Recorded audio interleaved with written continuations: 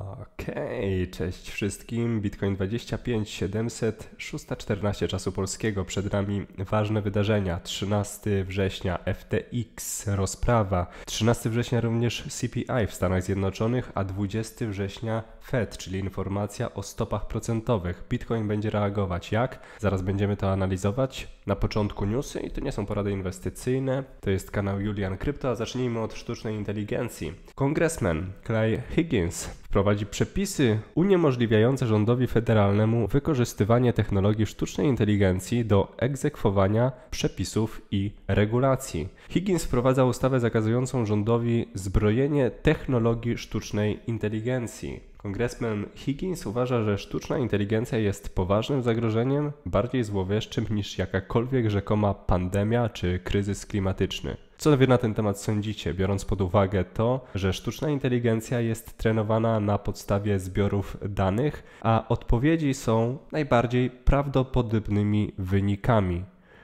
Konto Witalika Buterina zostało zhakowane. Skradziono ponad 600 tysięcy dolarów w kryptowalutach. Taki tweet został wstawiony na konto Witalika Buterina, który zachęcał do wejścia na stronę o nazwie Consensus.io i o tym, że można było odebrać darmowe NFT-ki przez następne 24 godziny. CEO Binance Changpeng Zhao skomentował to w taki sposób. Bezpieczeństwo kont na Twitterze nie zostało zaprojektowane z myślą o platformach finansowych. Potrzebne jest więcej funkcji typu two-factor authentication. Identyfikator logowania powinien być inny niż adres e-mail i tym podobne. Zatem już teraz widzicie, że nieważne kto wstawia, to i tak bardzo czujnie podchodźcie do jakichkolwiek zewnętrznych linków i przede wszystkim do podłączania waszych portfeli pod zewnętrzne, nieznane wcześniej strony. Indeks adopcji kryptowalut Henley Partners wskazuje na ponad 40 tysięcy kryptomilionerów, a dokładniej bitcoin milionerów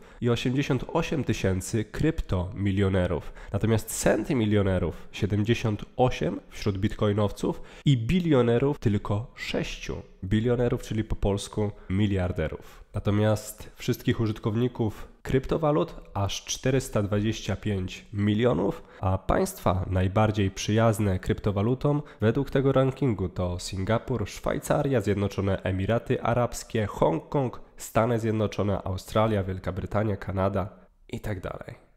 CKBTC zostało zintegrowane z aplikacją MyLugano Crypto Payment. Co to jest CKBTC? To jest taki bliźniak Bitcoina. Wyobraźcie sobie token, który odzwierciedla wartość i użyteczność Bitcoina, a jednocześnie jest wszechstronny i, uwaga, uwaga, kompatybilny z inteligentnymi kontraktami, czyli smart kontraktami. CKBTC to jest taki zrapowany bitcoin. Najprościej mówiąc, CKBTC jest to bitcoin przechowywany na sieci ICP, zdecentralizowanej platformie wykorzystującej kryptografię do przechowywania bitcoina. I integracja MyLugano pozwala użytkownikom wykorzystywać bitcoiny w świecie rzeczywistym, gdzie wcześniej to było utrudnione. Przede wszystkim różnica pomiędzy CKBTC a na przykład Lightning Network jest taka, że można go wykorzystywać do na przykład udzielania lub zaciągania pożyczek. Można dzięki temu tworzyć instrumenty finansowe, ponieważ jest to bezpośrednio połączone z blockchainem ICP, czyli Internet Computer. Ja na tym kanale od długiego czasu sieci Internet Computer się przyglądam. Uważam, że technologicznie jest to coś pięknego. Niemniej jednak od strony tokenomii tutaj sprawa jest moim zdaniem na razie przegrana. Dlaczego? Sama inflacja na tokenie ICP według CoinCodex to ponad 70%. I dlatego właśnie ten token od początku nie ma praktycznie żadnych wzrostów w stosunku do Bitcoina, ale zalicza ciągłe i ciągłe spadki. Pomimo tego, że technologicznie naprawdę ten projekt daje do myślenia. ICP nie widnieje nawet w rankingu top 19 najbardziej popularnych blockchainów pod względem dziennych aktywnych użytkowników. A tutaj na czele jest Tron, zaraz potem Bitcoin i sieć BNB. Przyjrzyjmy się zatem Tron, którego inflacja wynosi właśnie, Tron jest deflacyjny. Najczęstszymi przypadkami używania sieci TRX, no moim zdaniem jest to po prostu przesyłanie tokenów USDT.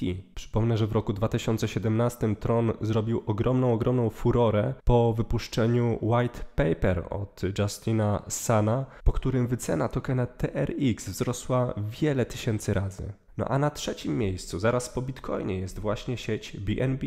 Inflacja na tokenie BNB według CoinCodex minus 4,6%. Z tego by wynikało, że jest to mniejsza inflacja niż na samym Bitcoinie. Analizując to, czym jest token BNB.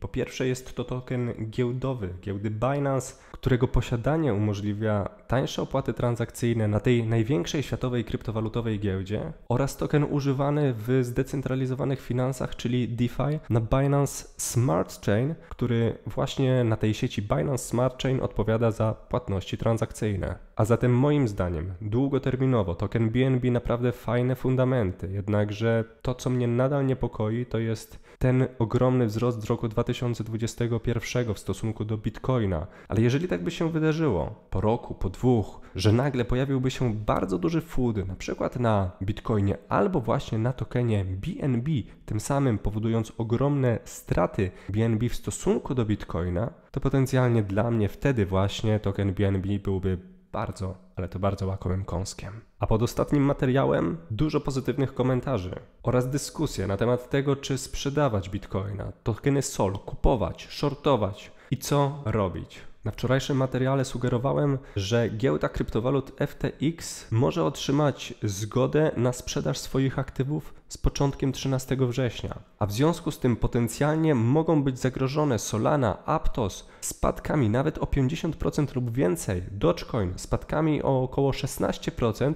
a sam Bitcoin spadkami o około 10%. Wyliczenia potencjalnych spadków były na podstawie tego, ile tokenów jest w posiadaniu FTX-u i ile z nich może być potencjalnie sprzedanych Dawid zasugerował, że zrzuty mają być po około 200 milionów tygodniowo, więc w zależności od obecnej wartości aktywów między 5 a 10% z całości co 7 dni. Także jego zdaniem nie ma sensu liczyć liquidity order booka, tak jak pokazałem to w przypadku Bitcoina. Wielu z Was sugerowało również chęć zakupu Solany po 5, po 10 dolarów. No właśnie, ale czy tak się rzeczywiście wydarzy? Przeszukałem dokładniej dokumenty FTX-u i udało mi się znaleźć informacje na temat 13 września i tego, że właśnie 13 września jest zaplanowane kolejne przesłuchanie w sprawie FTX-u. I to jest to potwierdzenie informacji, o którym wczoraj mówiłem, że wczoraj jeszcze go nie znalazłem. Natomiast odnośnie samego przesłuchania, jeżeli będzie taka możliwość, będę starać się oglądać to przesłuchanie na żywo i w czasie rzeczywistym zdawać Wam informacje. Na interwale jednodniowym, analizując Stochastic RSI z Open Interest, czyli liczby otwartych pozycji na giełdach typu futures, widzimy, że jesteśmy na poziomach, na których historycznie Bitcoin był już po większych wcześniejszych spadkach. Zresztą od kilku miesięcy widzimy spadki na Bitcoinie. Pytanie jest tylko jedno: czy to jest ich koniec? I tutaj kluczowe mogą okazać się nadchodzące wydarzenia, a mianowicie 13 września, FTX rozprawa oraz inflacja w Stanach Zjednoczonych.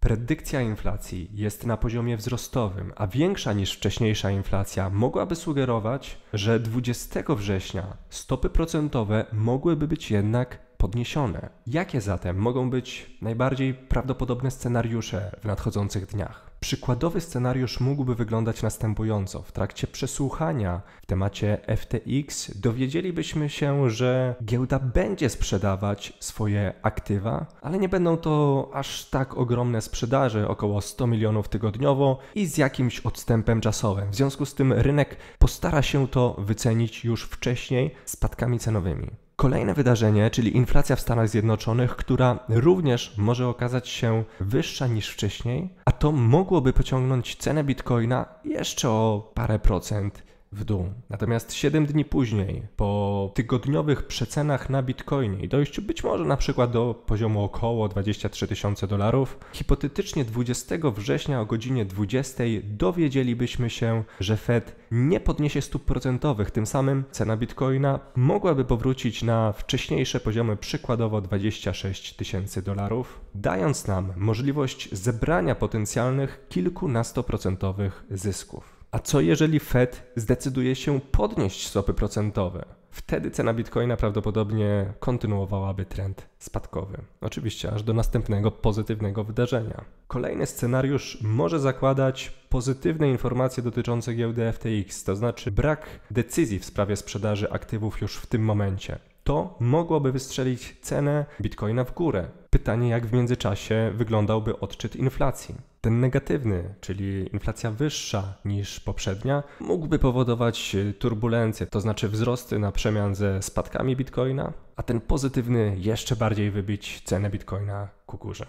I wtedy znowu czekalibyśmy na Fed, czyli informacje o stopach procentowych w Stanach Zjednoczonych i moment odczytu, również w zależności od tego, jak bardzo wcześniej cena mogłaby podskoczyć. I zakładając, że rezerwa federalna nie podniosłaby stóp procentowych, mogłoby dać jeszcze przez chwilę wystrzał pozytywnych emocji, natomiast zawsze pamiętajmy, kupuj na dźwięk armat, sprzedawaj na dźwięk trąb. I w takiej sytuacji dźwiękiem trąb byłby właśnie brak podwyżki stóp procentowych, bo przecież wcześniej zostałby on już wyceniony właśnie przez informację o niższym CPI, czyli niższej inflacji. Oczywiście pamiętajmy, że jest to tylko spekulacja i to, czym należy kierować się w pierwszej kolejności, to są twarde dane, które dzieją się w czasie rzeczywistym, czyli właśnie odczyty, odczyty, które mają wpływ na dolara, który, by the way, ma ogromny wpływ na bitcoina. Natomiast te osoby, które trzymają Bitcoin,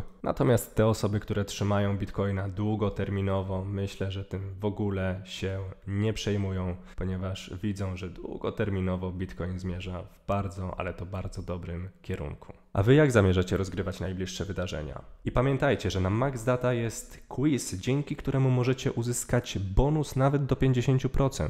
Rejestrując się na Max Data uzyskacie bezpłatny dostęp do różnego rodzaju alertów na tydzień, między innymi tych dotyczących napływów bitcoinów na giełdy, a nawet alertów dotyczących listingów i informacji poufnych o listingach, w przypadku których będzie dzwonić do Was telefon informując Was o najważniejszych wydarzeniach. A jeżeli zostaniecie na dłużej, to będziecie mieć dostęp do filtracji Twittera za pomocą GPT, czyli zaawansowanego narzędzia wykorzystującego sztuczną inteligencję do analizy tweetów, zaawansowanych wykresów pokazujących momenty panicznych strachów, czy ogromnych emocji na rynku kryptowalut, co bardzo pomaga w spekulacji. A jeżeli będziecie użytkownikami Max Data Lifetime, będziecie mieć nawet dostępy do botów tradingowych oraz do beta testów zaawansowanych funkcjonalności na Max Data App. Trzymajcie się i niech Hossa będzie z Wami. Cześć!